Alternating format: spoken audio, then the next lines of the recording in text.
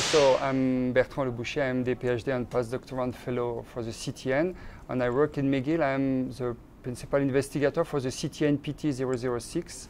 Uh, it's a pilot study, and we know that people who are uh, infected with HIV, even if they are under uh, antiretrovirals, uh, sometimes they have they are undetectable, but they have low CD4, and they have difficulty to gain a better uh, and stronger immunity. So, and we know that people who are HIV infected, they have uh, an hypercatabolism or on tryptophan. It is an amino acid very important for our body. And because of this hypercatabolism, they have, with immune activation, low CD4, and probably they have low serotonin, and serotonin is an important neurotransmitter for neurocognitive function.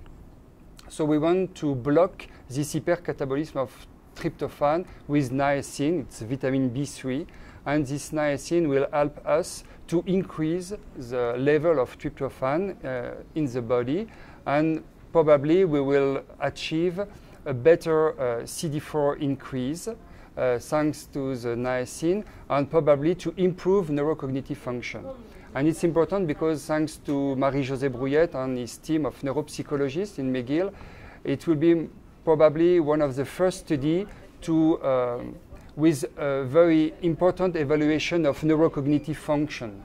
And it's important topic for HIV-infected individuals because probably 30% of them are uh, who are HIV infected are in the same times with neurocognitive problems.